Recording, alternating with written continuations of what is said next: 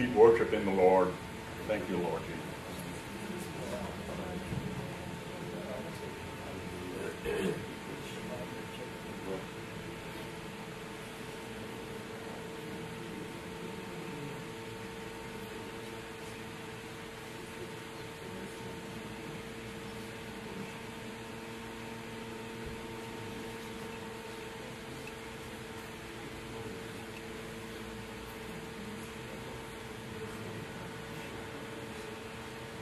Jesus. Sister Linda, just, just leave the, the worship music on a little while.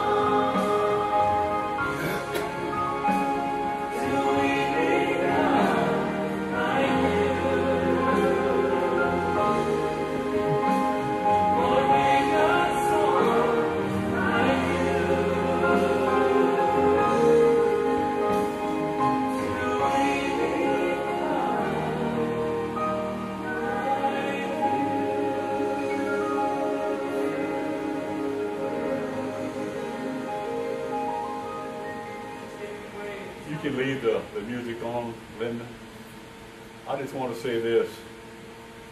What the Lord is sharing with me.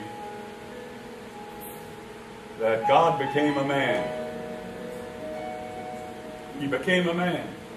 The man Jesus. So that he could relate. So that he could relate to us in the form of the Father's love. Thing turn you on, you're not on. I'm on in heaven. Amen. That's right. Full connection. We get all these newfangled worldly devices in a minute. This one's not so new, but Yeah, I was. I can talk pretty loud even though I'm 82. Well, I'm not, not 82 yet. I'm on the way there.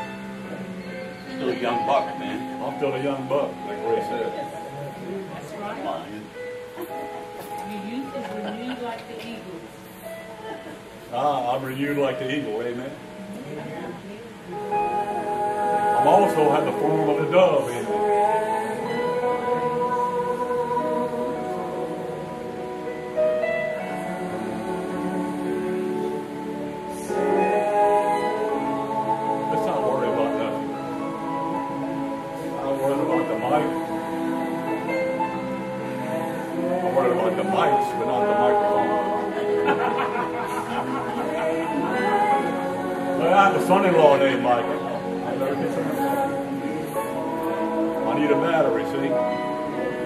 But I already got a battery. Things work better. I tell you what, I need my battery 24 hours a day. And the older I get, the more I know I need that battery. I thank God that He's there all the time. Where is He at? He's in that place that's hidden. He's not hidden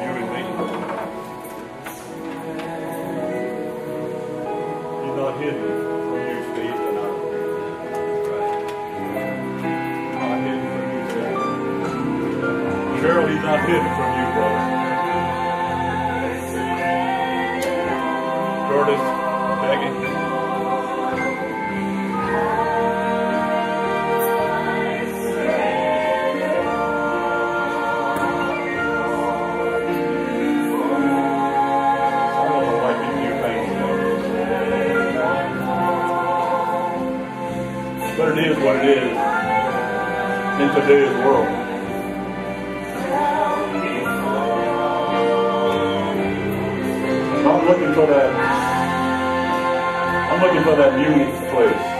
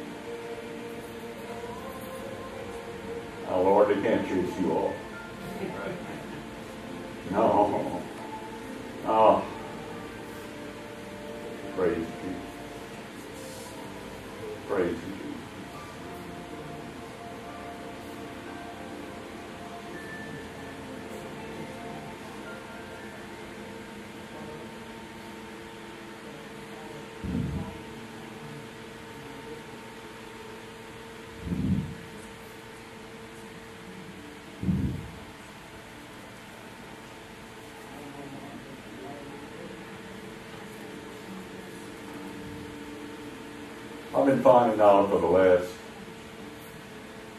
few years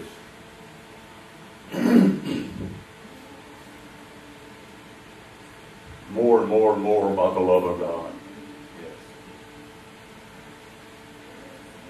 We all know the- that the Bible tells us that God is love. And we know what that means in one way. But it's, it's way beyond what we can fathom it, and oftentimes.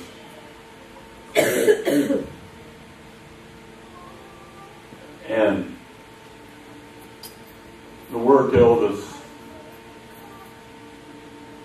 that it's not for you to know the times or the seasons when which the Father has put in His own authority.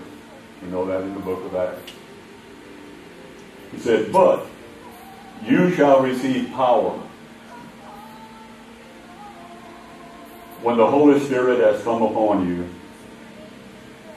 And that power would not be power unless it was in His love. That is the power source that the church is missing out on because it's not that they don't know God loves them. It just hasn't come to a reality in their hearts yet. But I can tell you what. You know why I'm here tonight? I'm, I've been here because God's been talking to me for three years.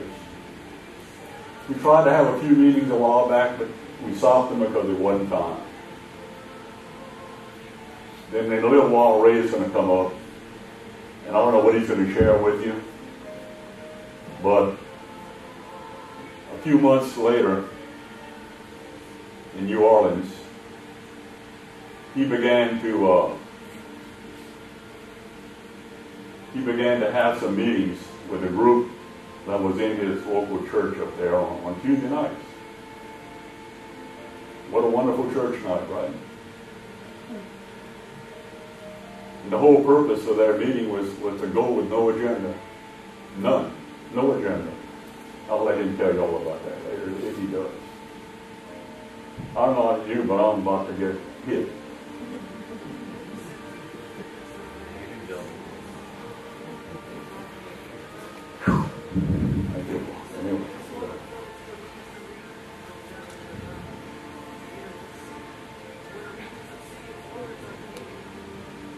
Months ago,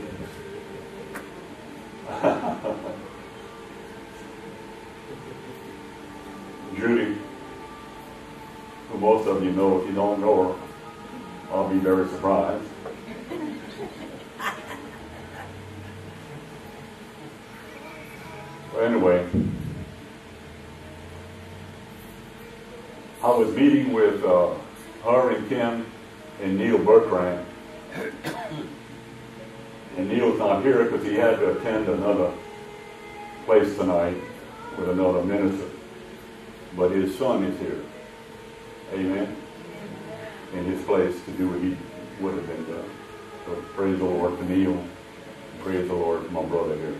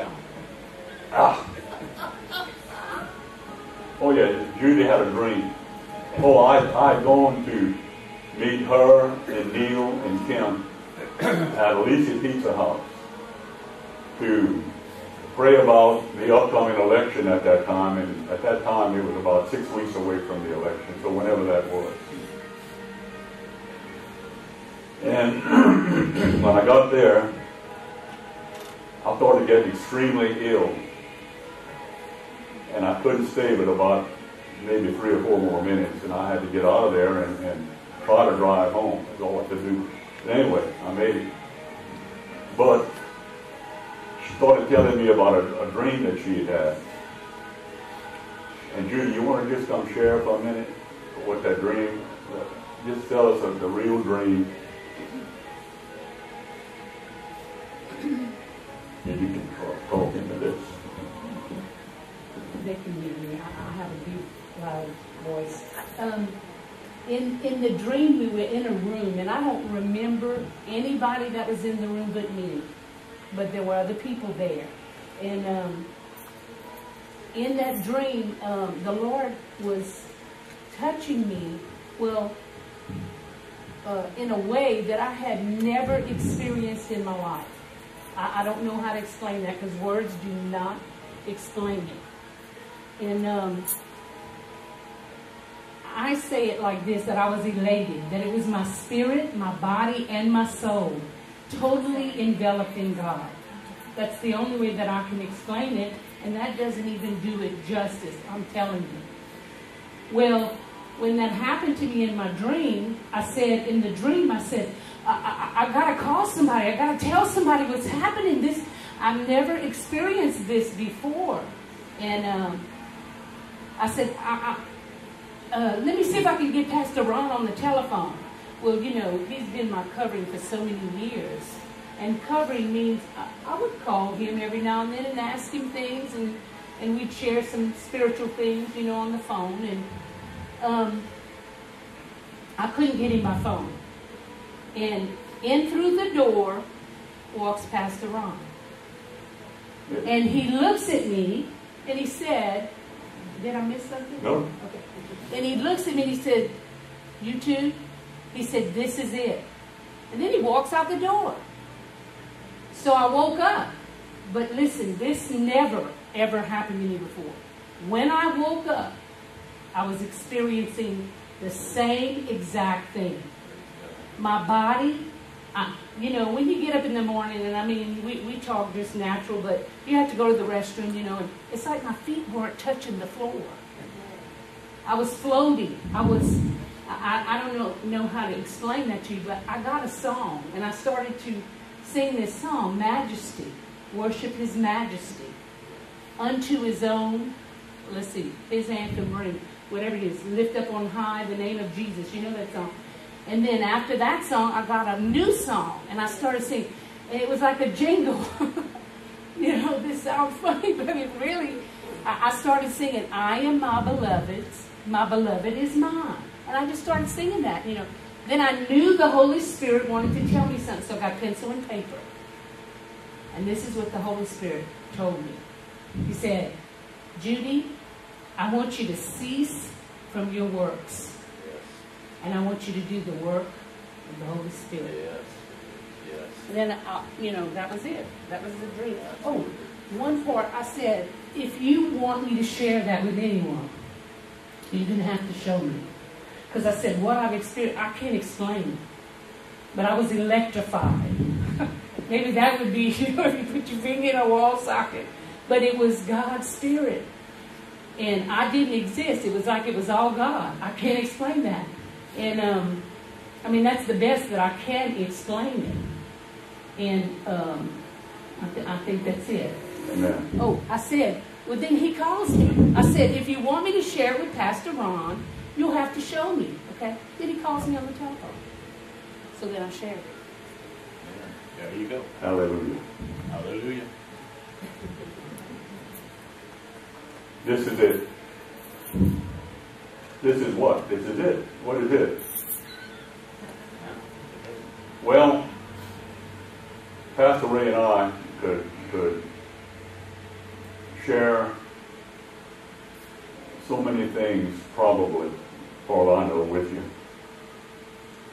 that uh, we need a lot more meetings to explain that we're in the time of this is it. But that this is it, we already know because it's in the Word. We've read it a million times. We've heard it a million times.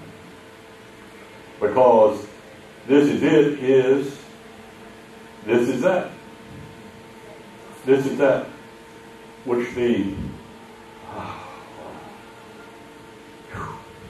Therefore, being a prophet and knowing that God has sworn an oath to him and that of his fruit of his body, according to the flesh, he would raise up Christ to sit on his throne, foreseeing this, spoke concerning the resurrection of the Christ, that his soul was not left in Hades, that his flesh would not see corruption, that God raised Jesus up, which we are all witnesses. Therefore, being exalted to the right hand of God, received from the Father the promise of the Holy Spirit, he poured out this which you see is now.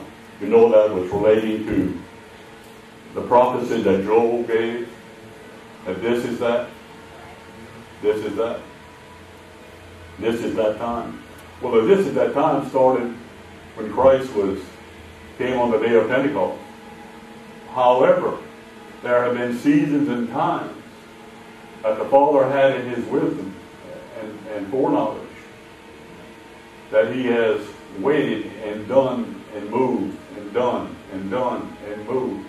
He even went through the dark ages and you know, he had to raise up Martin Luther and, and go through all of the, the Reformation and, and the times and the seasons and the teachings to teach people about the blood back in the Old Testament, about what it would mean and, and what the law would mean and what what uh, to be free of the law and not have to have the law, but to live by grace would mean. Yes. Yes. And this is what the church has to step into at this time and hour. Walking in fullness. I, wouldn't, you know, I wouldn't be here doing this tonight if I didn't know that this is what God was ready to do now and show the church exactly how to walk in that without the works, as we someone mentioned a while ago. But we're in that season in time, and I tell you what, y'all, you wouldn't be here tonight if God hadn't called you and, and stirred you to be here. I wouldn't be here tonight if God hadn't stirred me to be here. I can tell you, Pastor Ray wouldn't be here tonight. But in, in, he'll tell you about the meetings he started having. Be three years this July, I think. Two and a half. Huh? It's been two and a half years. It's been two and a half up till now. Be three years this July. Hallelujah. I had a dream, and, and I'm not gonna gonna go into any teaching or preaching tonight.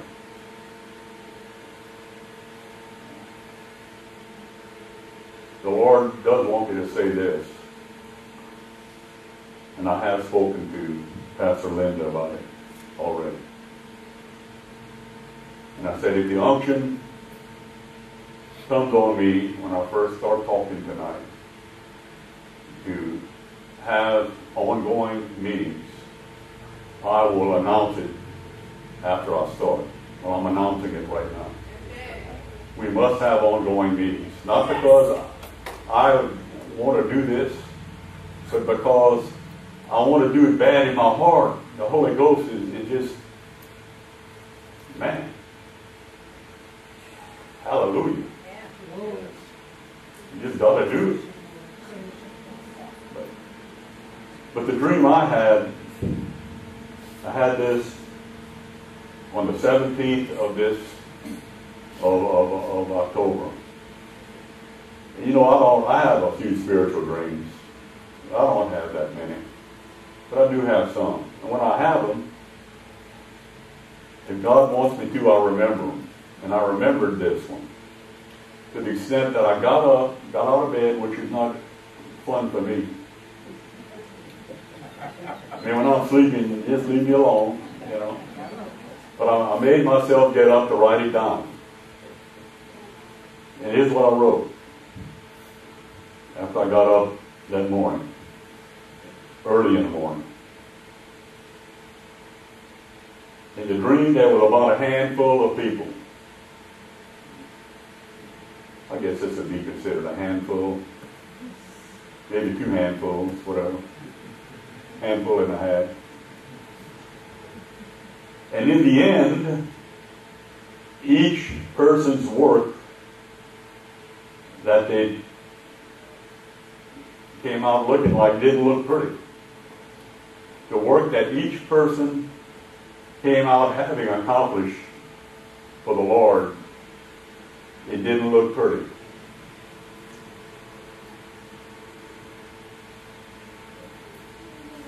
But each, and only word I could come up with to describe what I saw in my dream, looked like a contraption. It looked like a, it was about the size of a, a, a I don't know, uh, about this big, you know.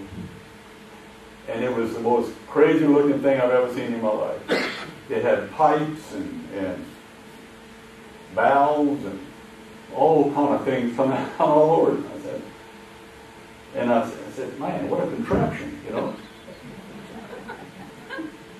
Our works. That was our work. And we worried about being so, you know, pushing with the Lord and this, that, and the other, and, and trying to be perfect, and, and worried about how God feels about us. But I looked up the word contraption in, in the regular collegiate dictionary. Here's what it says about a contraption. It's a humorous, a humorous blend of the two words contrive and trap.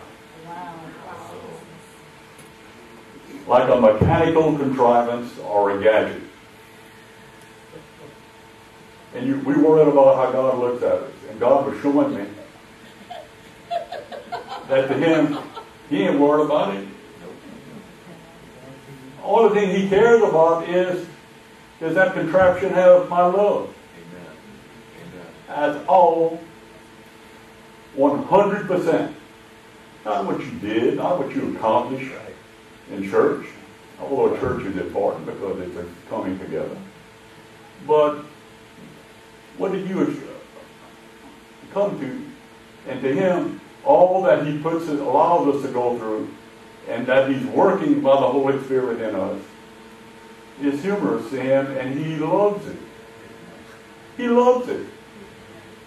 See you loved all the stuff you've been going through, man. Robert, he loves your stuff.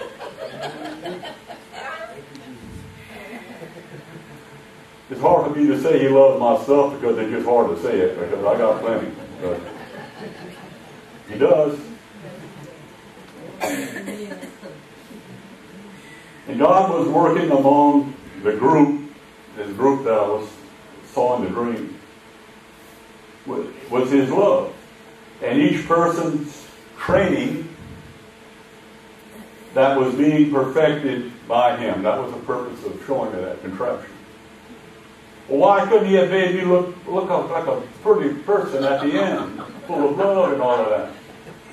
Because he knows that this flesh and blood can't do it. But he's looking at my heart, at my inner man, at my soul and spirit, where he lives. So anyway, y'all understand what I'm saying, I think. Each person's acceptance of each other. Each person's acceptance of each other. In, of each other's imperfections. Of each other's contraptions. However they see. The Lord was pleased because his ways, which is love, was being worked and his love was being formed in each person. What a God we serve. He loves us and he all our stuff doesn't bother him a bit.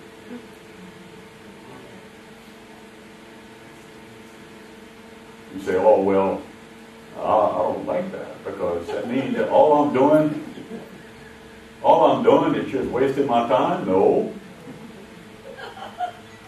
Because you're having to love him in order to do that. That's right. Hello?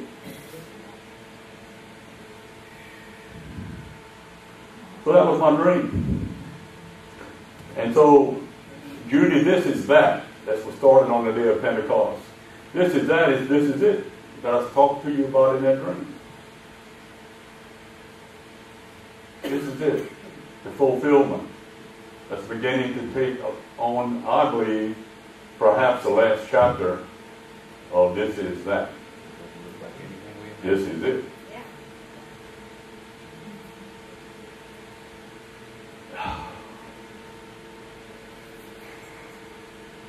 And if, if, if, if you begin to think about it and, you know, the Holy Spirit said, you shall have power after the Holy Spirit, Holy Ghost comes upon you. Oh, we all want power. But think about it. God is not power. What does the word say? God is love. Oh, I thought he was power. No, he's love. So his power then is manifested because he's love. Yes. Hello? Yes. We made God a little too complicated. And I don't know about you, but I can't stand up here much longer, Ray. Got a chair here, brother. So I'm done. Love you. We'll be letting you know when the next gathering is.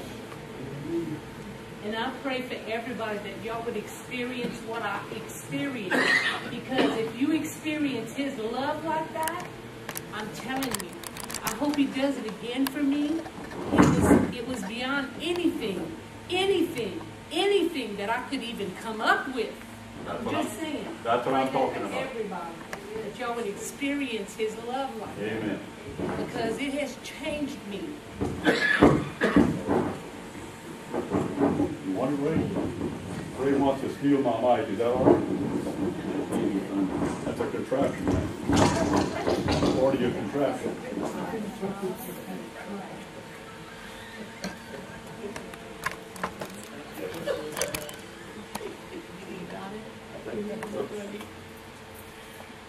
Wants to give me half of I'll, that's because I'm, I'm not totally formed yet.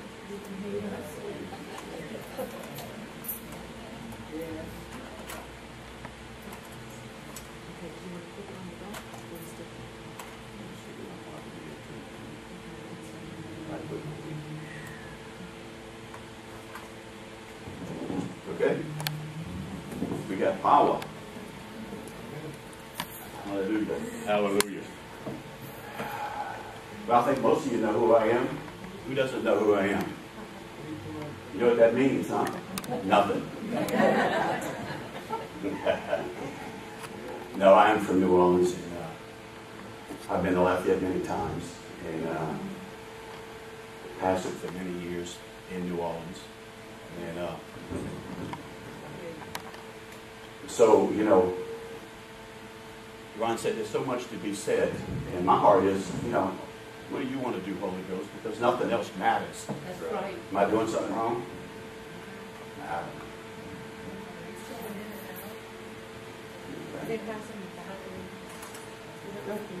I can use the handheld if you want. Okay. Yeah, I'm all right. But, you know, there's, there it is now. But anyway, there's a lot of things we could do here tonight. But the only thing that's important is what the Holy Ghost wants to do. But what I did hear when I was sitting there as Ron was sharing, the Lord is saying that don't underestimate the seed that I planted in you. I said, don't es- underestimate the seed that He's planted in you. Okay? Each and every one of you are particular in the body of Christ for a particular purpose. And God has been working in you. I mean, I could, I could take a survey right now, and each and every one of you uh, could spend a long time telling me telling us all that you've been through. Amen. Many of you have been spending time on your knees saying, you know, why, Lord? How, Lord? When, Lord? God says He's doing a, a good work in you. Most of God's people in this hour who have been through the preparatory process to carry the anointing that's going to be made manifest, I believe, very shortly. They are, for the most part, pioneers. They're not settlers. You know, settlers are settlers. But God has raised up a people of pioneers. They know something's over those hills. They want to be a part of what God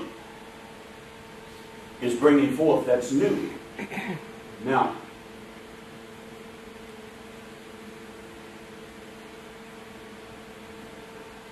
the Holy Ghost, let me tell you, the Holy Ghost knows exactly what He's doing in you.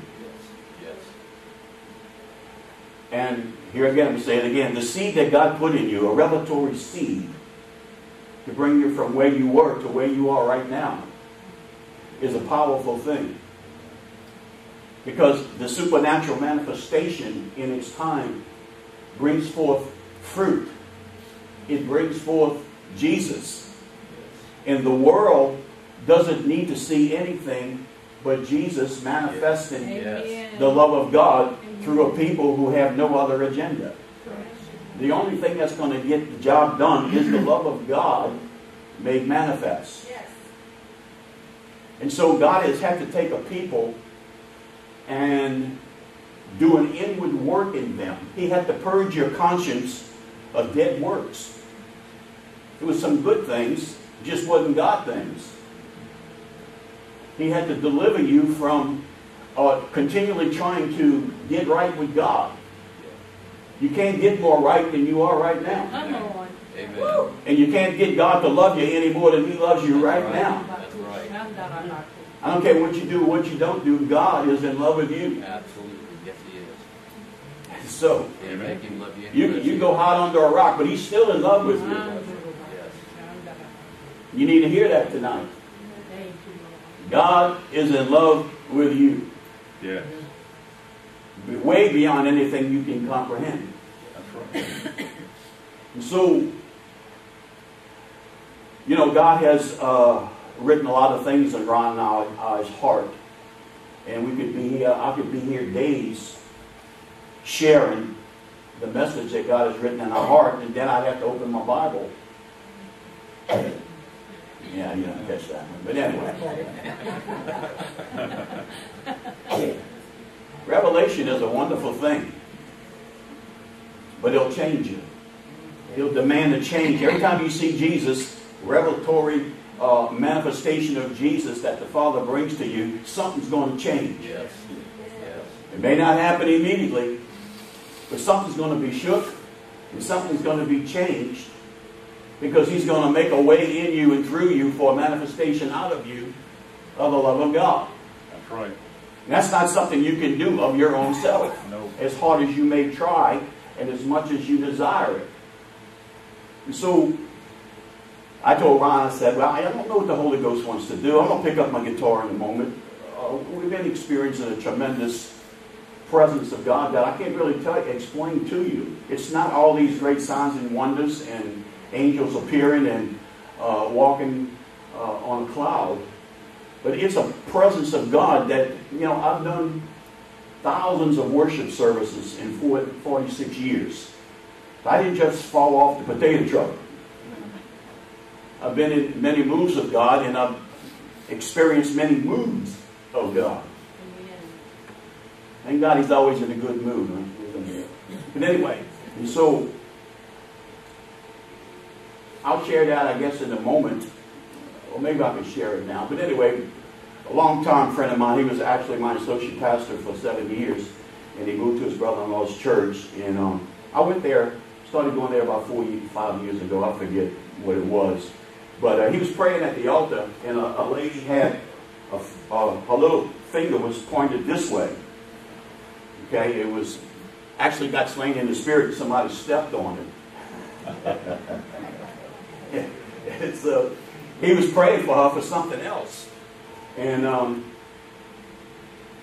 while he was praying, the finger straightened up. wasn't even praying for the finger. And when the finger straightened up, God spoke to him. He said, "I want you to start holding some meetings." And he said, "Well, when, Lord?" He said, "Well, on Tuesday nights." And so I got with him, and the first Tuesday night, he had no idea what God wanted to do. But uh, when Billy got up there to pray, when he prayed, I don't know how I can explain it to you, but the presence of God just descended through an open heaven. And we have been meeting for two and a half years now, and there's never ever once has the Holy Ghost not showed up in a powerful way. And we don't do anything. I mean, I may sing, I may pick up my guitar, we may not do anything. It's just see this is this is what God is doing in this hour. He has a people that he's had in the wilderness a long time. As I just shared with my brother, many of you have been isolated. It's just you and Jesus. You can tell people your, your problems. You can tell people all your hardships, and they go, Yeah, I understand. I go through the same thing. But they don't understand what you're going through the way you do and the way God does. You know. You see, I can't explain why God does all the things that He does, but I know that God is working to your good, and He's got a plan for your life. It's already been established before the foundation of the world. And as long as you stay yielded to Him by His grace through faith, there's no devil can separate you from the love of God. Right. And so we have been meeting, and I have never, uh, you know, the, the presence of God is hard to explain uh, the way we are experiencing in, in this hour. But the key to it has been simply this. When we come together, we have no agenda. Now, the Holy Ghost may say something, but we have no agenda. But our corporate goal is that there is a stream that God wants to flow in for that moment of time. And so there is a river that flows from the throne of God. The streams thereof make glad the city of God. And so, all we do and all I do is say, Lord, which stream did you want to flow in tonight? Like tonight. Which stream does he want to manifest himself here tonight? And in two and a half years, I can tell you, God has never done the same thing twice. It's amazing. What is the stream that God wants to move in? Well, He knows. But He has to teach a people to flow with that. And you are part of that people. Because God has isolated you where the only thing you can do is hear Him. Yeah. Because He put you in a garden enclosed. You couldn't go left, you couldn't go right, you couldn't go up, you couldn't go down, you couldn't go in, you couldn't go out. And God blew a north wind. Then He blew a south wind. And when the two winds met, storms happened. That's what it says in Solomon. My spouse is a garden enclosed. Storms happen. And things begin to uh, go on in your life because there's a plan that God has. But then it comes a time when the gates are open and the spices flow out. And we've come to a time that Ron is saying this is it. This is a time when what God is going to do is all, and I mean all, A L L, all about Jesus. Yes. Yes. Yes. So God has stripped the people of themselves. They've lost their life, if you will, Amen. Yes. so that there can be a manifestation of Jesus. Now, you may not fully understand that, but to lose your life is a real deal. Yes, it is. To follow Him, you must lose your life, pick up your cross. That's right. But the church, unfortunately, has had a doo-doo religion for a long time. Come on. And so, God has to deliver a people out of a system, if you will, that's not conducive to becoming a channel of the love of God to the extent corporately that He wants to manifest it. So, He grabbed you because you have a holy calling according to His purpose, not according to your works. He's called you. Out of, what, six billion people on the earth, He's called you. Think about that. With a purpose. Now, Paul said we are His workmanship created in Christ Jesus unto good works. And I define that word works as acts and deeds. When you say there's good works, good acts and deeds, and there's bad works, bad acts and deeds. But he's, he, you know, we are his workmanship created in Jesus unto good works that have been ordained before the foundation of the world. Think about it. That my brother here, Steve, right? Before the foundation of the world and the earth, God already had laid out for him everything he wanted to do through him. Okay. It's already laid out.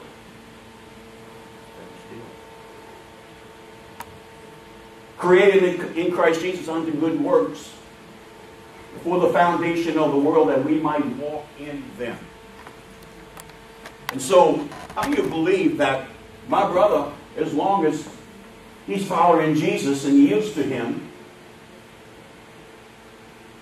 that there's no devil can stop the works that are already ordained to go through him? Right. the acts and deeds that God wants to do through him, there's no devil can stop it. He can try to hinder it, but he can't stop it. Can sickness and disease kill him before those works are finished? No. Are you hearing me? Yes. Nothing can stop what God has already ordained. That's right. So quit living in fear and give God the only thing you can give Come him. on. And that's yes. Yes. Amen. Yes. Amen. That's the only thing you can give him. God doesn't need anything else but yes. Yes, Lord. Every way. That's all, that's all you did when you were born again. I mean, you say, I brought from what's finished into substance in my life. God did everything else. And all I could do was say yes. And when I said yes, something took place that had nothing to do with me. It was all God.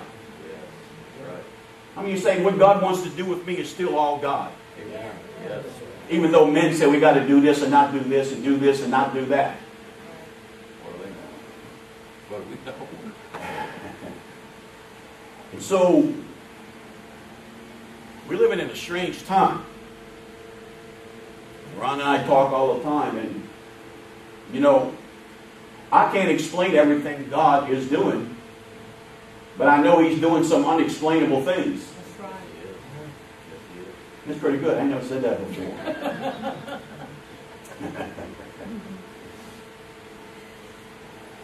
so, let me go back to when I, with the first statement I said, God has put a, an incorruptible seed in you. I mean, you know, you have the DNA of God in you.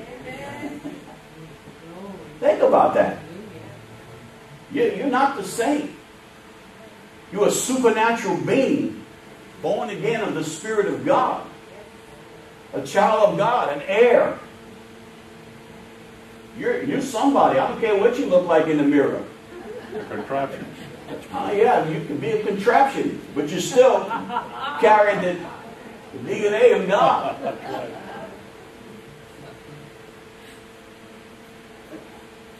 And so, I've always been of the mindset throughout the years of, of serving God and pastoring. Lord, what are you doing? I want to know what you're doing right now. And sometimes he'll show me, sometimes he doesn't. And I was about ready to quit the ministry years ago. I had enough of it. And um, I said, Lord, I've been, I've been teaching and preaching my heart out for years and years, and these people are still sitting here as carnal as ever. Still fighting with one another. Still fighting with me. I'm of this and I'm of that. I said, something ain't, something's missing. Something ain't right. We got churches on every corner, and they all got fences around them. Is it true? Uh, you, you hear what I'm saying? They all got fences around them. And if you're not in unity with what they do, then there's something wrong with you. I don't like liberals today. But I said, Lord, there's something right. I don't know what it is. Something missing. And God was gracious enough to tell me that because I was saying, Lord, what are you going to do? I got to know what you're going to do. Otherwise, I'm quitting this thing. I'm going back to fishing. The Holy Ghost said, I can't tell you what I'm going to do because you can't relate to it right now. And I said, Well, try me.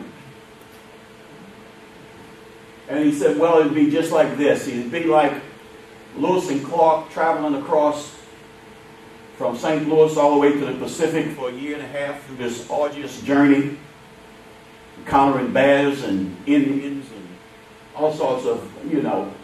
And they get to the Pacific, finally standing there, and I walk up to them and I say, Now you know, Lewis, Mr. Clark, in the days to come, there's going to be these things called jet planes. And they're going to fly that same distance that just took you a year and a half to walk. It's going to fly, they're going to fly about, you know, a couple hours and they're going to deposit hundreds of people. You say they have nothing to relate that to. Do I picking, picking that up? And I'm telling you, what God is getting ready to do is way beyond what we can relate to right now. Yeah. Because God's going to get the attention of the world. Yes. Yeah, there's going to be signs and wonders that uh, the blind are going to see, the deaf are going to hear. That doesn't necessarily change hearts because Jesus performed all sorts of miracles, and yet they still didn't believe. Right. But what's going to get the job done is the love Yes. of God Yes. so powerful that when people walk into it, they're going to be zapped. Yes. That's right. The love of God shed abroad in our heart Glory. By our denominational services. No. No, by the Holy Ghost. Amen. So, the world needs to see and experience the love of God. Right now, they look at the church and they don't see anything that's attractive to them for the most part.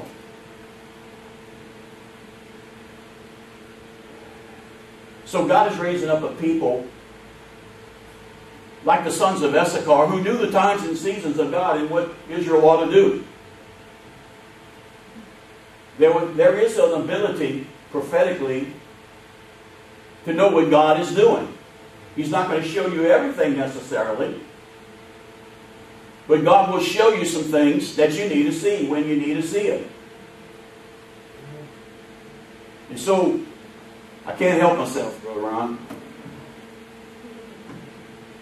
Because you need to you need to hear that you hear that you hear what I'm saying to you. That we're getting ready to come into the manifestation. It's been 500 years since the beginning of the Reformation. Right. 2017, 500 years since Martin Luther got the revelation of justification by faith, not of works. 360 something years later, Azusa Street happened in 1906.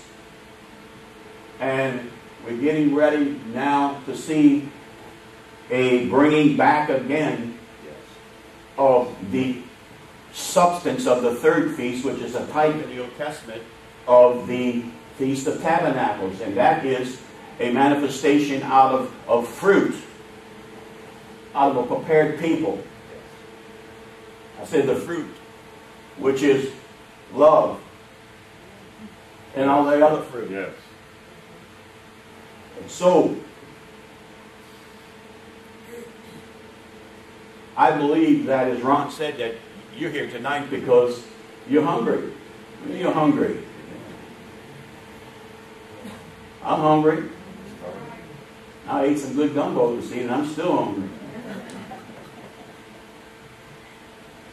But let me quickly, because I just feel I have to do it. Many of you heard me say it, but I'm going to say it again. Don't pick up a guitar and I'm going to pick. Ron's going to grin.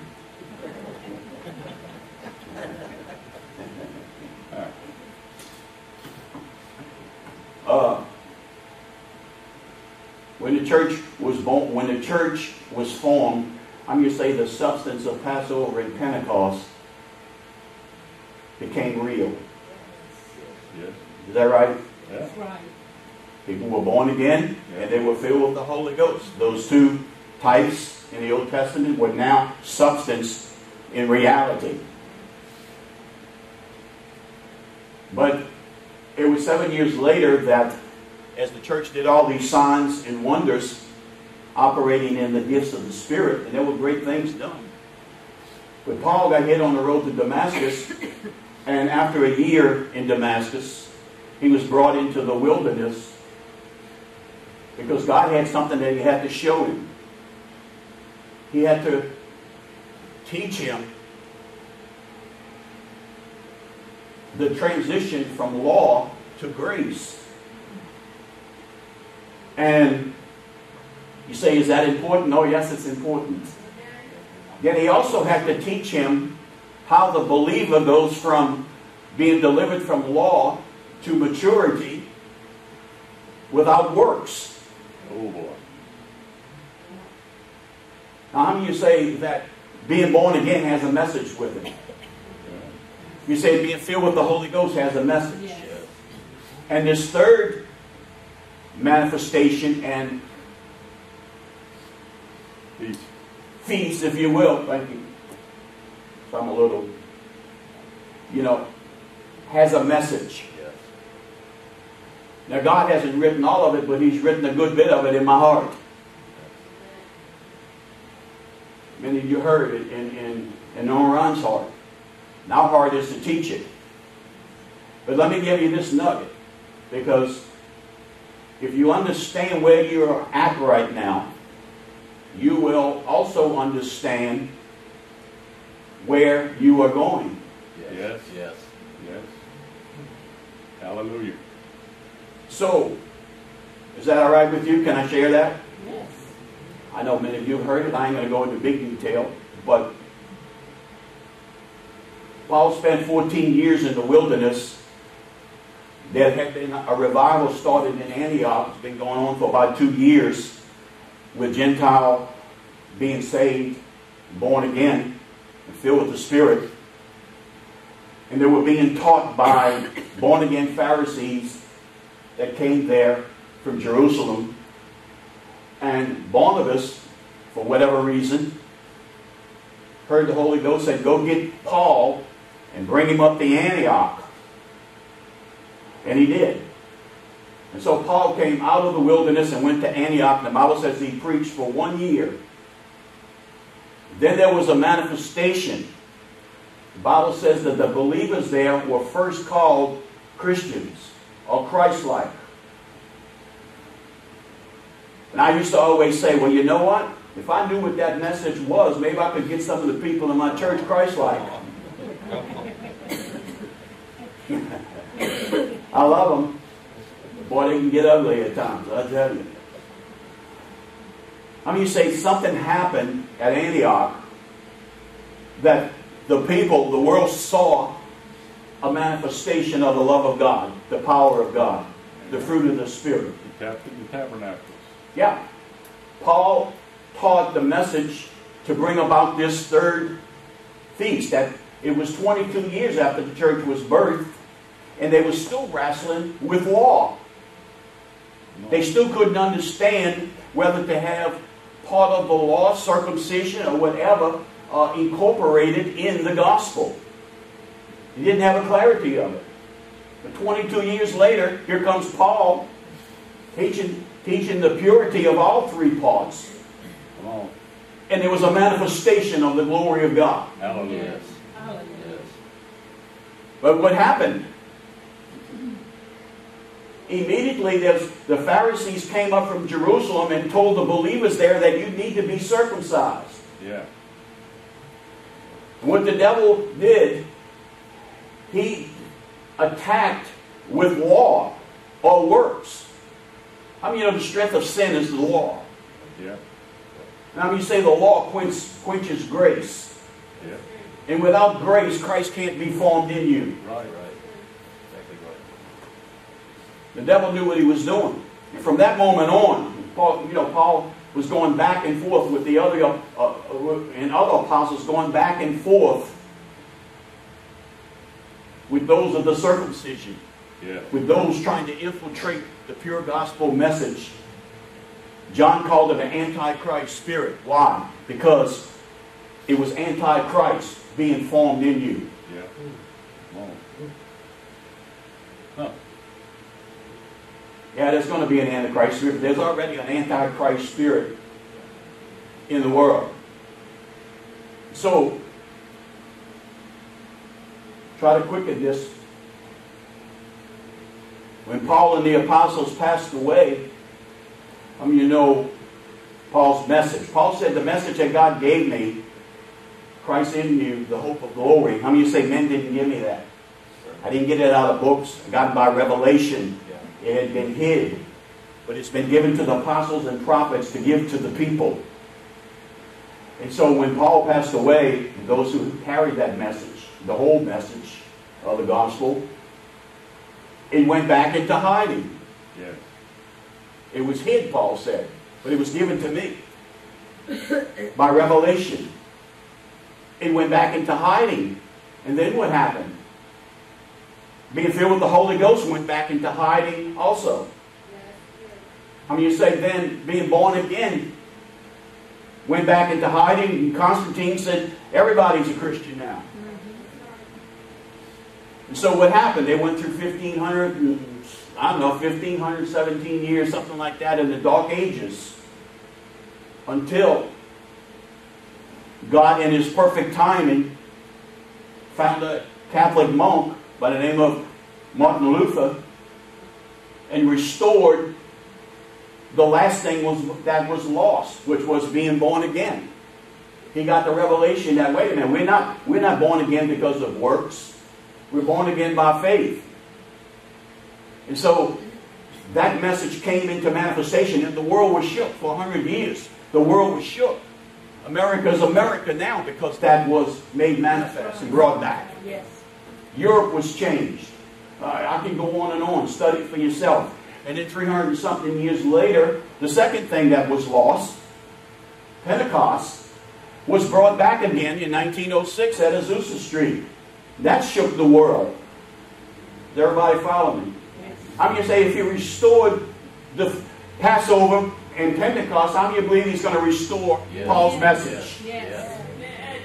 Yes. The Feast of Tabernacles that has a message, which is how the believer brought, brings forth fruit, the love of God, as we become His workmanship and allow the process to happen from faith to faith, from glory to glory, and God purges us uh, of dead works. Yes.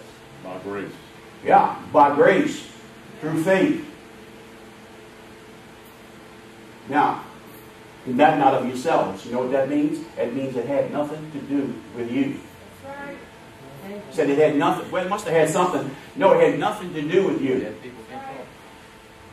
The only thing you did is say, Yes, Lord, come to my life. He created the faith. Grace and truth came with Jesus.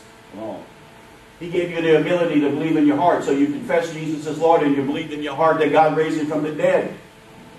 But with the mouth, or with the heart, man believeth unto righteousness. With the mouth, confession is made to salvation. I mean, say God gave you the ability to do that because you couldn't believe that. My whole point here is, and I said, you know, I didn't have no plan on on saying this, but I got to obey the Holy Ghost. Amen. Because this is the message that is going to follow this move of the Holy Ghost. Because, you know, years ago, I heard, some, read somewhere something that 2017 was going to be 500 years from the beginning of the Reformation, and God was going to do something powerful. Yes. And someone uh, sent me a, a video of someone sharing that because I never heard anybody be interested in that. And this prophet was saying that 2017 begins a great push forward in the spirit realm. The atmosphere has already changed. There's already a change in the atmosphere in the earth, in the natural.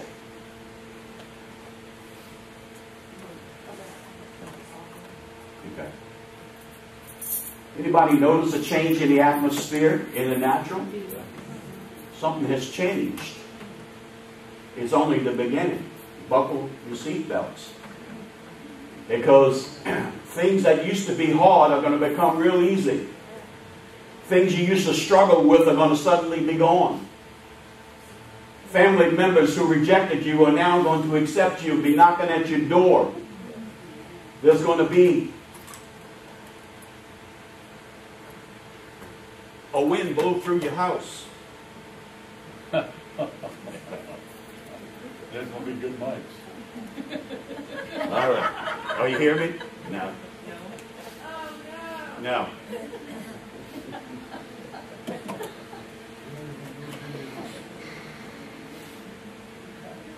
Amen, amen, The devil don't like prophetic words. you know That's what right. Okay, you're But all he's defeated. He's a DD, defeated devil. It's working right. Grab the blue one, which is, The boom. look, This one here? Test, test, test. Okay. Hallelujah. What's it to you? It's part of the contraption, right? Part of the contraption.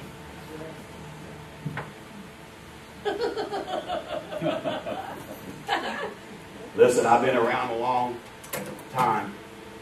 Contraptions don't bother me. Anyway, hallelujah. loose Was in working. the name of Jesus. Are you recording this? Is that why you need the mic? There we go. Okay. Turn it up some more. if You can. There you go. Okay, that's good. There we go. Anyway, I was saying that the seed that God has planted in you is getting ready to be made manifest. Aaron's rod is getting ready to bud. Those who need to see a witness of what God has done in your life are going to see it in great manner. They're going to see Jesus. Because God's going to strip you everything of you. There's going to be a wind that blows through your house. Hallelujah. Yeah. And your loved ones, your sons and your daughters are going to come back in with a great shout. Yes. Yes. The heavens are going to open up in places you never thought, and God's going to put words in your mouth. You're going to find out the victory has already been won and the battle's already been fought because oh, God is going before you. Hallelujah. Amen. You're going to find out that the labor and the work of God in you has not been in vain. You're going to see what has been finished now substance. Hallelujah. I mean, you say, I have enough hands laid on me, I'm bald. I've had enough things rebuked in me that I don't know.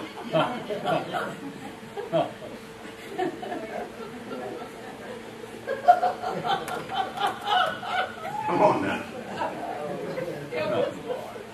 But I'm, I'm telling you. Those that wait upon the Lord, He shall renew your strength. That word renew means that God is going to strip you of you. And there's going to be an exchange of your weakness for His strength. Yeah. And that's the process you've been in. But get ready because now you're going to mount up with wings like an eagle. You're going to run and not be weary. You're going to walk and you're not going to faint. And you're going to say, What's this new thing happening to me? And you're going to look in the mirror and you're going to say, Yeah, I still look the same, but there's something different in me. There's something roaring in me. There's something speaking in me.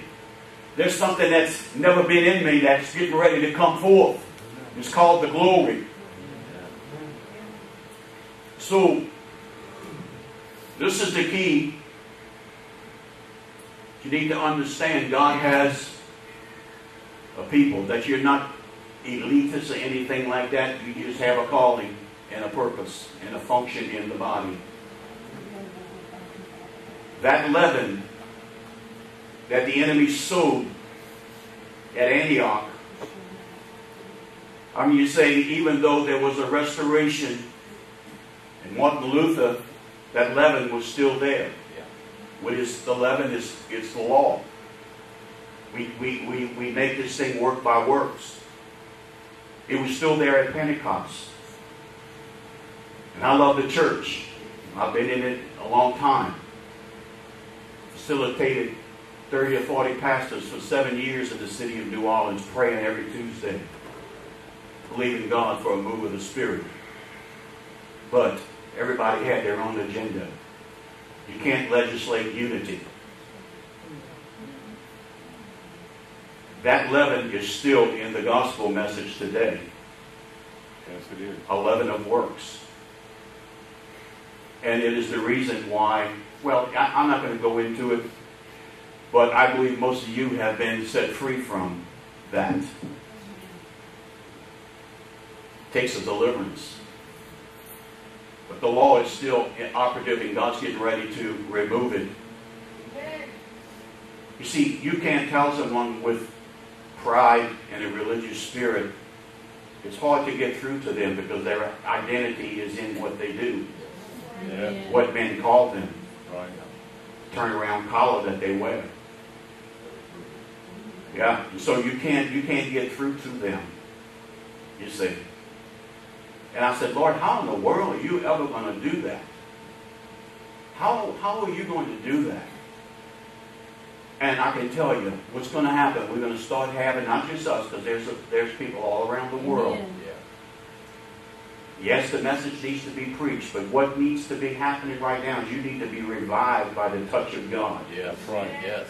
You need to be the, the things that the cankerworm and the palmer worm and the locust and the caterpillar has stolen is about ready to be restored. God's getting ready to pour out His Spirit again upon all flesh. Your sons and your daughters are going to prophesy. Where your baskets were empty, they're now going to be filled. Yes, it does. Although you sowed in tears, you're now going to reap joy. Coming again. Yeah. Come on. Coming again. This is it. This is that which was spoken of uh, Prophet Joel. You see, it wasn't just one time. We're getting ready to see a mighty move of the Holy Ghost. You came in here discouraged tonight. Don't be. Because God, God is going to do something through not just one man. Yes, that's right.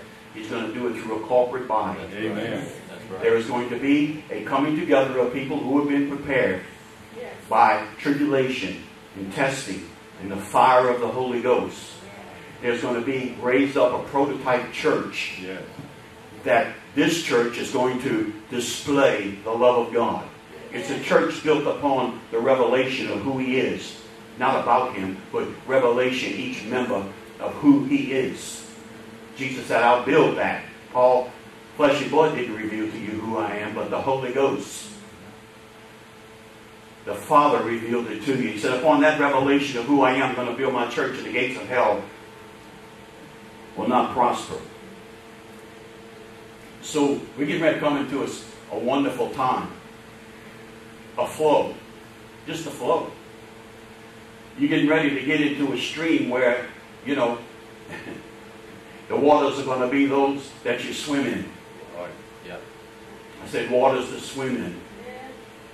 I mean, you're ready for refreshing winds of the Holy Ghost. Yes, yes, Refreshing winds of the Holy Ghost. See, you've been in situations in your life where it's just been you and Jesus. Just you and Jesus. And I tell you, He's heard you cry.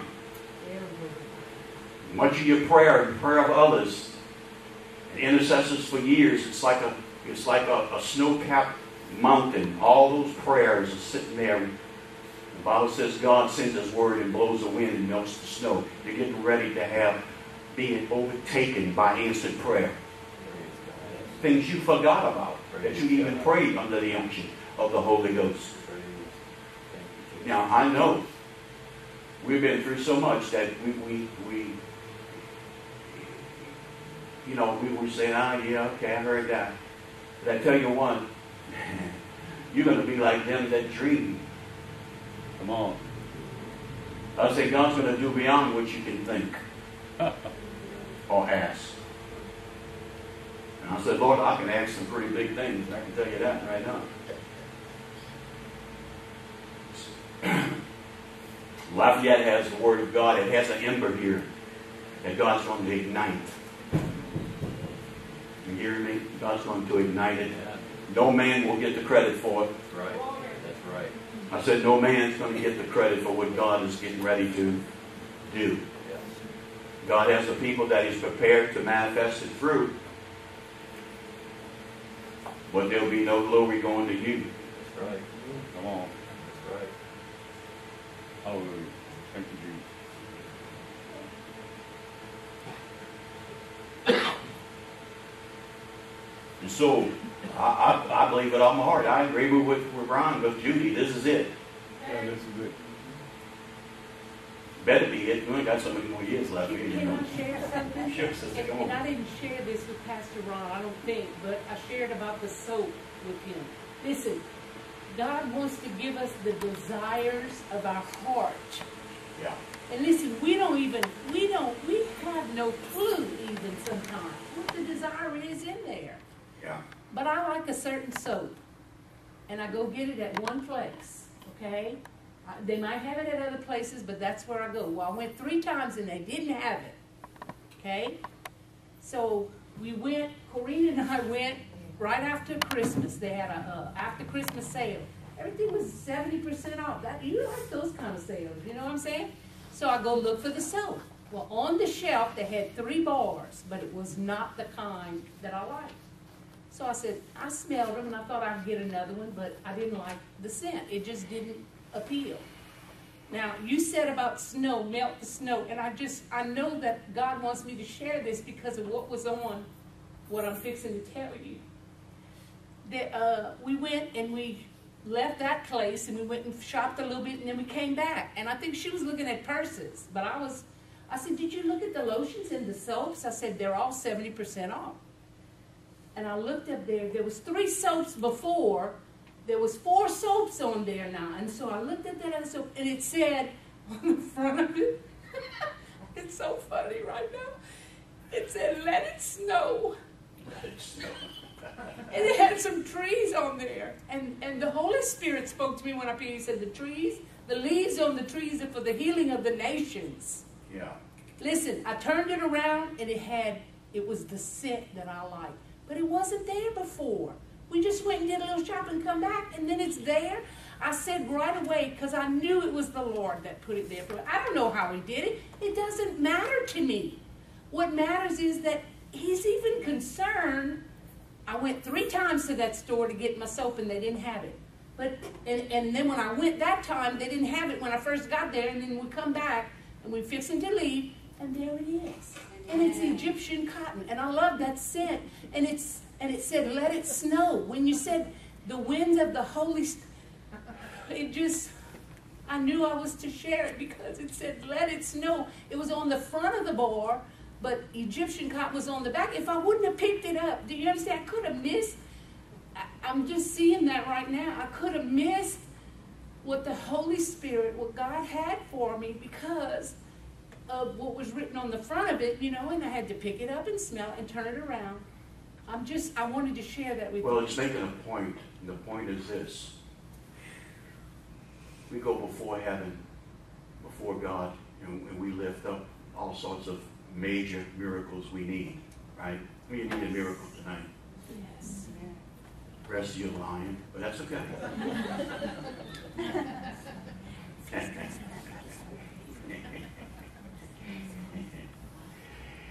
the point is this, when she's saying that Ron was sharing with me this evening that the Holy Ghost spoke to him, be careful you don't lose your glasses.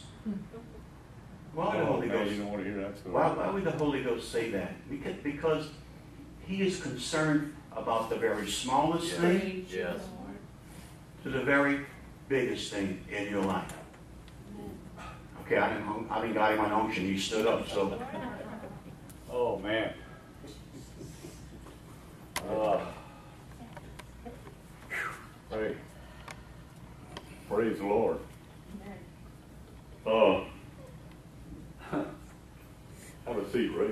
I'm gonna sit up. No, I'm not gonna stand up here long. that's okay. I'll wait till you finish. Uh, I think it was uh, Wednesday night, and uh, I'd had a pretty active week of all kind of things going wrong, including my air conditioner went out and everything. Anyway, I think it was Wednesday. The Lord, I heard him. I heard. I heard the Lord. I just heard him in my heart. He said, "He said, be careful. You might lose your glasses." Uh, well, you know. And I remembered it because it was so vivid in my heart. I said, well, okay. I said, that's crazy. So, guess what? A day later, I lost my glasses. And I was going to bed, I think it was night before last, I don't remember. But I thought about it when I got in bed and I said, I could always check to make sure I have my glasses before I go to bed.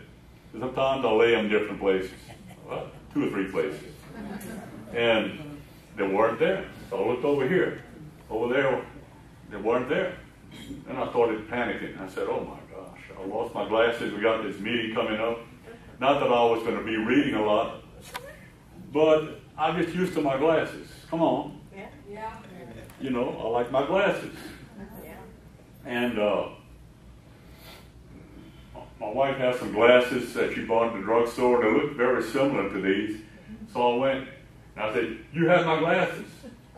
He says, No, I don't have your glasses. I said, Well, that's them. She said, No, these are mine. Take a look at them. I said, Oh, okay. So two and a half hours later, after looking and looking and looking and looking and looking and looking, all over every possible place, I said, Well, I just got to give up. So I went, went to sleep. Next morning I woke up, first thing on my mind was, go find your glasses. So I got up and I said, well, in the daylight I might be able to find them. So I went and, and did the same circuit again for about two hours. And finally I, I told my wife, it was about nine o'clock, I said, look, I said, uh, I can't find them. And so I had this recliner, like most of us had, and I had tilted that com I pushed it back as far as you could, and I looked under it two or three times because sometimes I, when I'm at night, I'll, I'll take them off and I'll put them on the end table by the recliner, and I figured, well, maybe they fell in, behind the recliner or something. Well, they weren't there. So I sat down on my recliner, and my wife sat on the couch. This was in the morning, and I said, I said, well, honey, I just can't find them. I said, I'll just get a pair of drugstore glasses and whatever reading I have to do, I'll use that. And I just can't see good with, with them, but that's all right, you know. And so she said, well, she said, why don't we just pray? And I said, oh yeah, right, we'll just pray. I'd already prayed about I don't know how many times. I said, well, let's, let's just pray anyhow. So I sat down on my recliner and we, we prayed. And then I had the feeling, you know, you know how you have to pull that lever, crank up the, the footstool. And I had never wanted to do that because it's hard to get out of it once you get that footstool up. But I, I said, I've, I've already looked under the recliner several times. I tilted it up all the way. They're not under there. I said, but I tell you what I'm gonna do. I'm gonna, I'm gonna, I'm gonna pick up the, the thing. And I, and I went. In my age, it's kind of hard for me to kneel down on the hard floor. But I kneeled down and I looked under that footstool. And I said, well, I'll be there. They are. About five hours of frustration. Okay. I never would have believed I'd have found them under there. I'm not telling you. But I prayed and there they were. Hallelujah, Ray. Why don't you play us a tune or something? I, I, I think.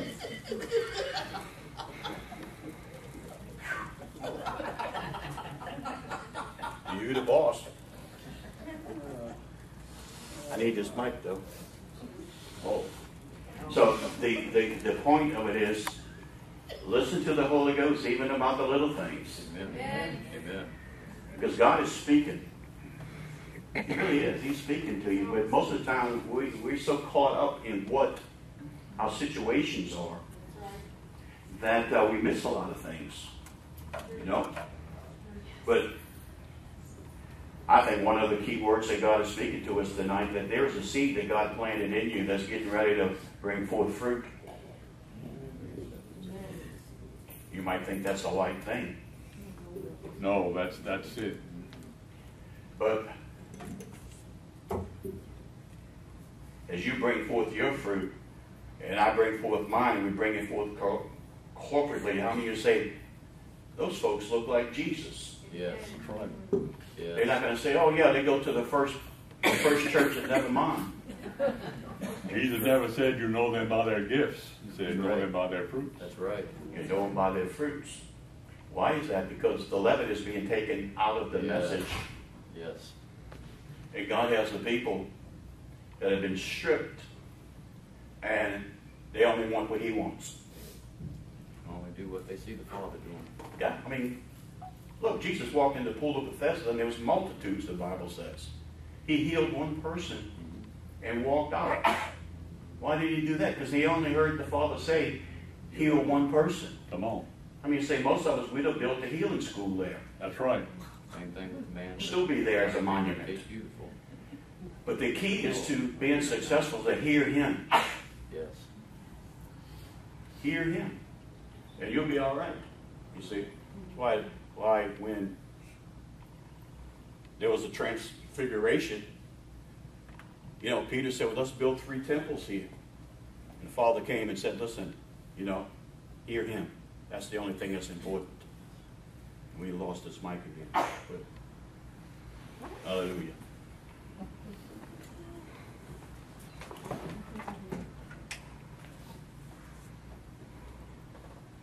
A lot of things are getting ready to change in a big time way.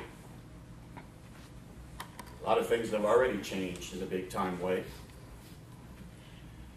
But one of the things that's getting ready to change, you know, I've been a worship leader since I've been born again.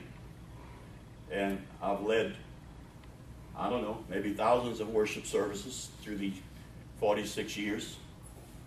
And I can tell you now that in the last few years, I've learned some things that I've never learned before.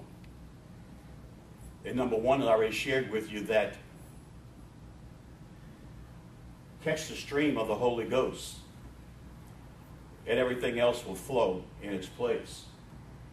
But you know, we've been through the charismatic movement, we have uh, had a great restoration of, of praise. And we have entered into his gates with thanksgiving and into his courts with praise. And that's a wonderful thing. Praising him for what he's done, what he's doing, praising him for what he's going to do. But there's something called worship that we intermingled with that. That's not, it's different. Why would the Father seek those who worship him in spirit and truth? What, what, is, what is worshiping him in spirit and truth? There's a difference. Because true worshipers are those who have received revelation of Jesus from the Father by the Holy Ghost and have said yes to it. And that seeing of Jesus has created something in them that you can't create through uh, anything other than the Holy Ghost revealing to you what He's showing you. And out of that truth being revealed, which is Jesus, there comes a worship that's different.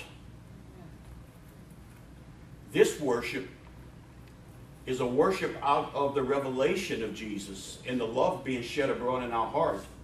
But as we worship Him, we also get a response back from Him. That's the difference. Are you hearing me? There is a response back. You, you lifting up your love to God through worship, and He's bringing it back to you in communication. Now, some of you looking at me like a cow looking at a new gate, but how do you believe that if you praise God and all, He wants to communicate back to you? Yes. It's not just one way. That's right. It's a back and forth because it's a love relationship.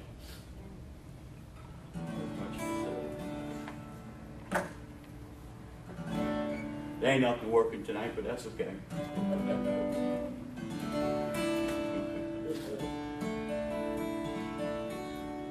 Oh, Jesus. Won't you stand?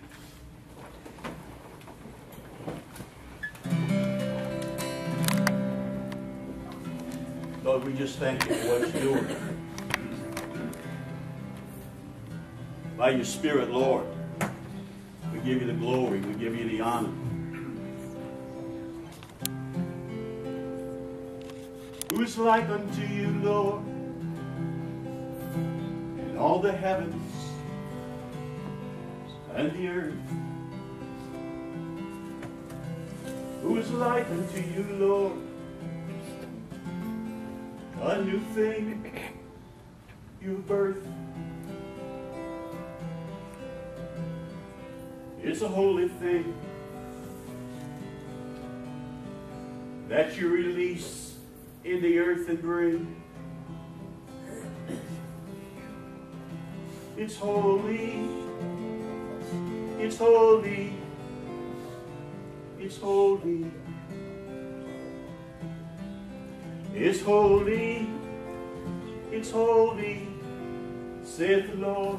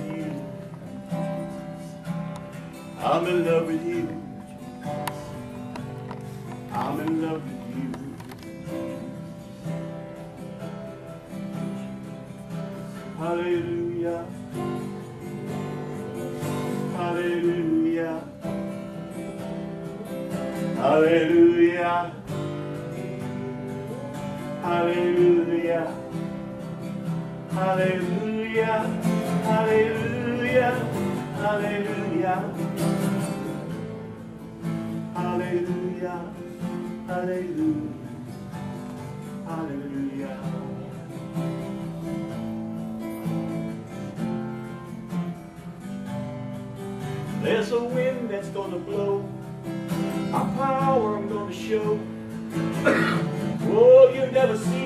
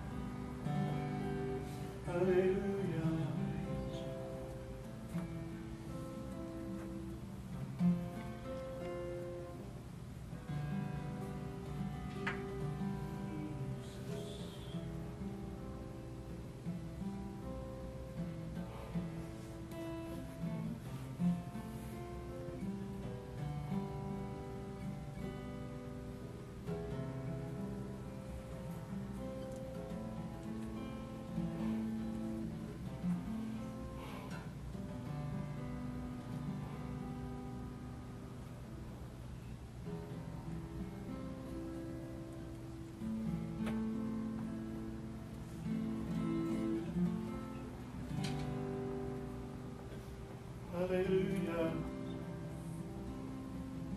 When you say there's a seed in me, ooh, revelation that set me free. God's planted a seed in me, a seed in you,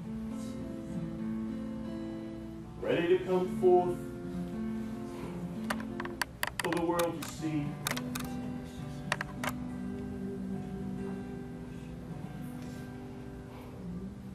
say it again. The Lord says, Your children are going to bow their knee again to me. I've set them free. Ooh, that things that have brought them into captivity. Suddenly, suddenly free. Because I've heard you cry. And I'm not a man that I should lie. Get ready to see your loved ones set free. Can anyone agree with me Yes. and the Holy Spirit that your sons and your daughters, your husbands and your wives, Yes. they're gonna be free. Yes. They're gonna be free. They're gonna be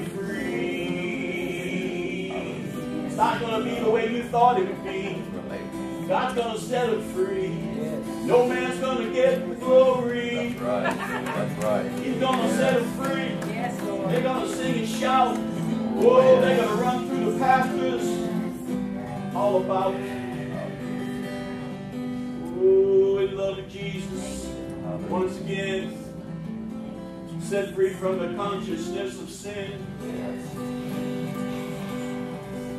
Your prayers have not been in vain because I heard you say it the Lord, say it the Father when you call in Jesus' name. Though the winds are blowing, now I'm showing things you've never seen before. I'm the Lord. I'm the Lord. Am I. I'm the Lord. I'm the Lord your God. I'm the Lord your God. I'm the Lord. I'm the Lord. I'm the Lord your God. I'm the Lord. I'm your Father. I'm your Father.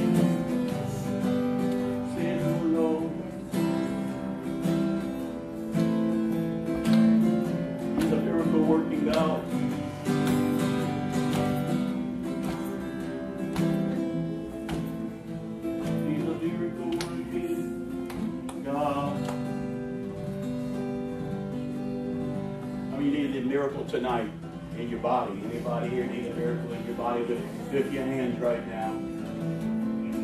You need a miracle in your body. Hallelujah. Hallelujah. God's not designed you to carry sickness. You have a different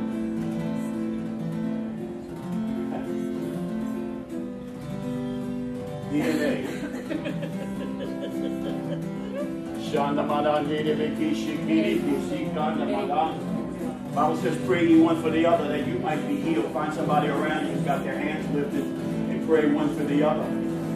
Pray in the name of Jesus and faith in that name. I say in the name of Jesus and faith in that name. That God is able to do exceedingly abundantly more than you can even think or ask, according to the power that worketh mightily in you.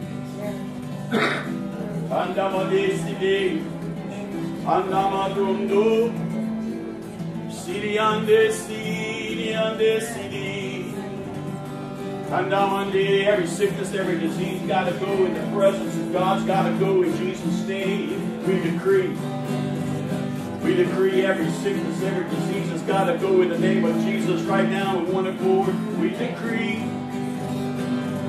healing in the name, healing in the name, healing in the name, healing in the name. I said healing in the name, healing in the name, healing in the name, faith in that name. I said healing in the name, healing in the name. I said healing in the name.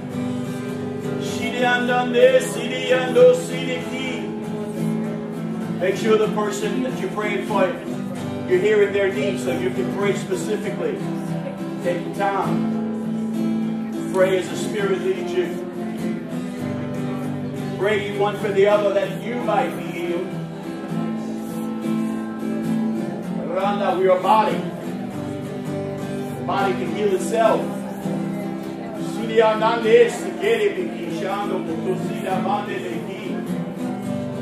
Sanda, man, rondo, siria, biki.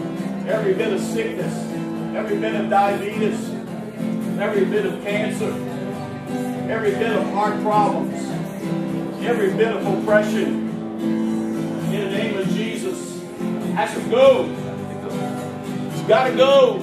It's got to go. It's got to go. It's got to go right now in the name of Jesus. It's got to go. It's got to flee. Yes. I said, God has set you free. It's got to go. Eye problems, ear problems, hearing problems, throat problems, whatever it might be. Someone's got a problem in their feet.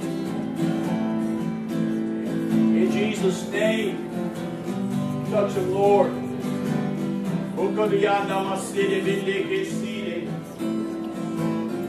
Ushana manande side de, side ando side beke sedando si. Oh, hallelujah, hallelujah, hallelujah,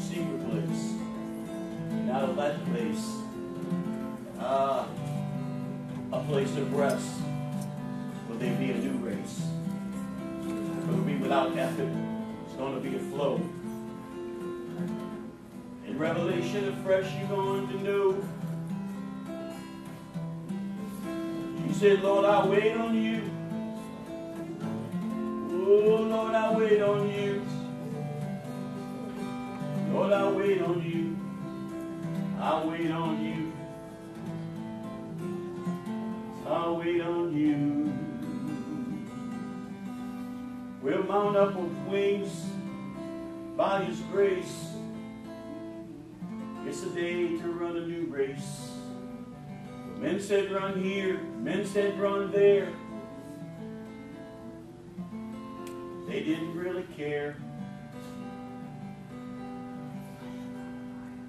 But the Lord says, things of the past, hurts and bruises and offenses, suddenly disappear.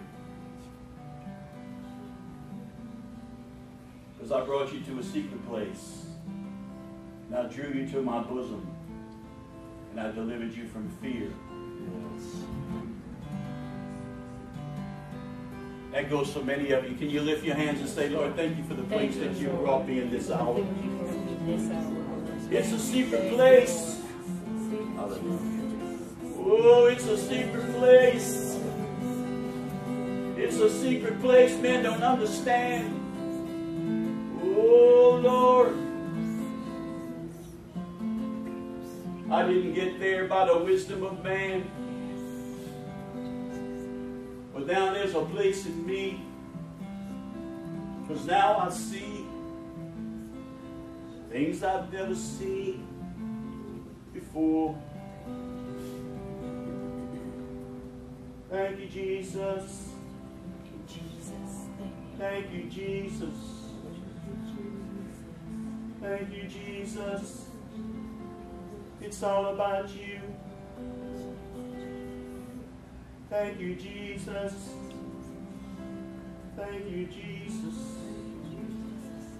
It's all about you. Thank you, Jesus. Thank you, Jesus. For that secret place. My refuge, my fortress, my strong high tower, my shield, my buckler. Jesus. Secret place. Secret place. There's no fear. in that place. God that passes understanding keeps your hearts and your minds through Jesus.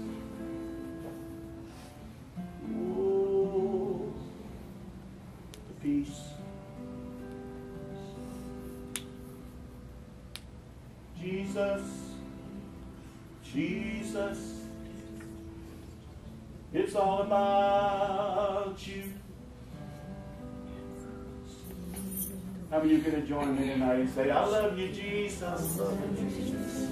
I love you, Jesus. I love you, Jesus. I love you, Jesus.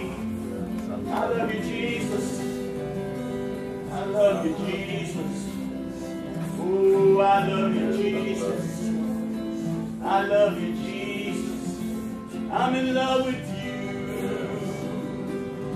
I'm in love with you, Jesus. I love you, Jesus. The Lord says I'm in love with you too. He says I'm in love with you too. What manner of love is this? What manner of love? Who can resist? I'm in love with you, saith the Lord.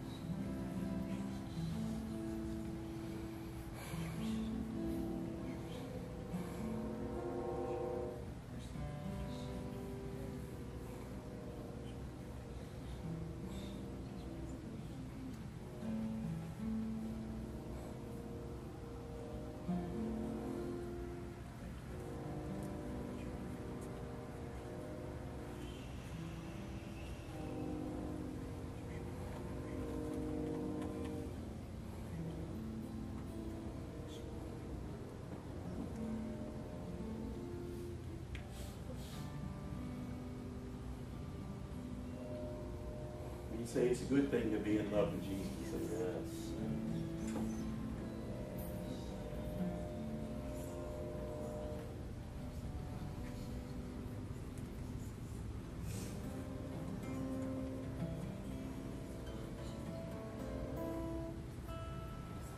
Jesus, Jesus, Jesus, Jesus, Jesus, Jesus,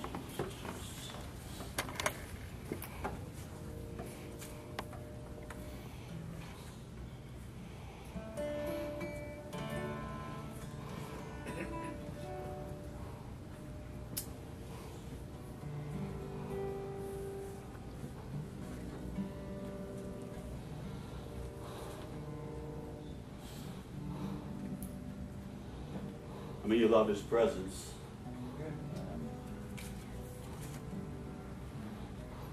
Let's sing a song together before we go tonight. Because Ron has some other things to do or say. Just fine. Huh? No. Huh. Hallelujah. You know it. Hallelujah. Hallelujah.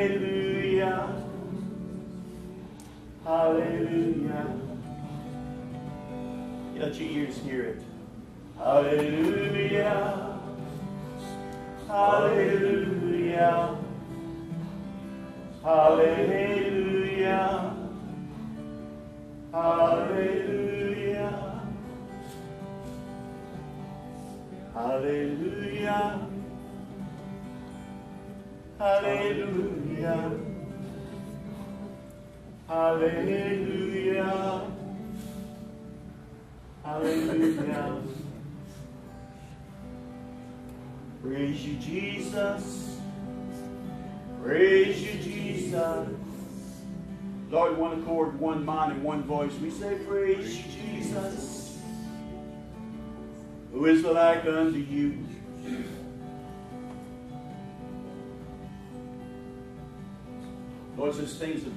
Back right now. Things that were hindering you. Things that were blocking you. Things, even fear in the night. Even disturbances in the mind. The Lord says, I've done something even now. And it's holy and it's divine.